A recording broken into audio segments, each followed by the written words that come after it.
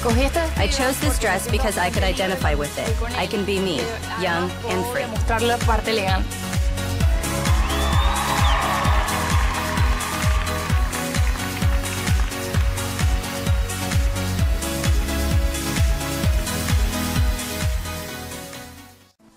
Venezuela.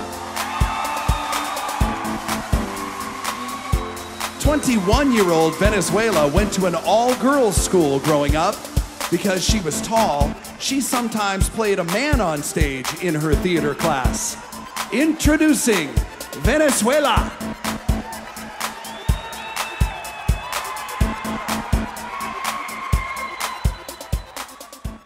Venezuela.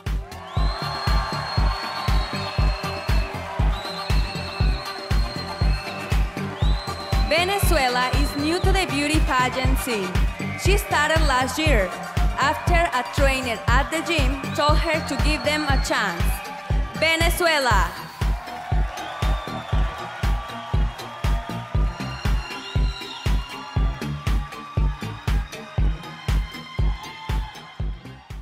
Venezuela.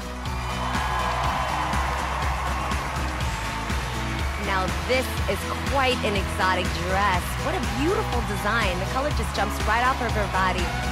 And I love how confident she's walking. She looks like she's having fun. That's really what the competition is about. Have fun, own it, really be confident in who you are.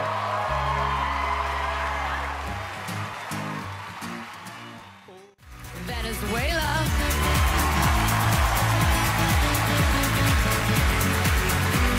Uh, the only dress we've seen so far with sleeves, which is a really fashionable risk. It's very on trend, but Venezuela also co-designed this dress. That's right. She really, really took a lot of time in making this dress just to make her feel comfortable.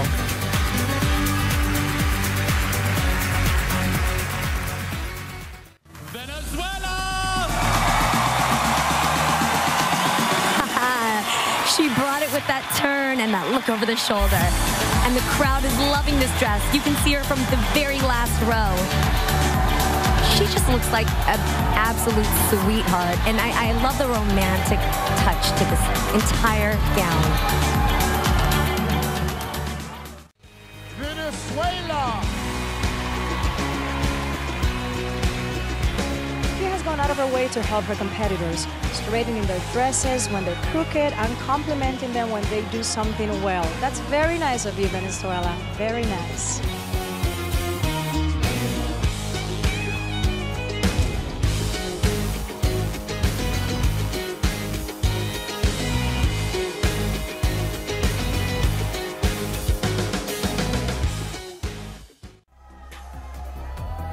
Venezuela.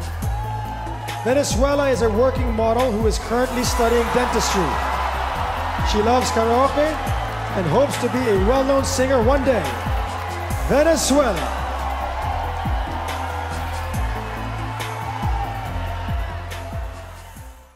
Venezuela. Now, Venezuela is uh, wearing a silver and white, and a lot of the women have chosen white. A lot of our winners have worn white. This is, I think, super elegant, simple hair, a really embellished bodice, and then a long, simple, flowing uh, ivory skirt. This is a really glamorous, beautiful presentation.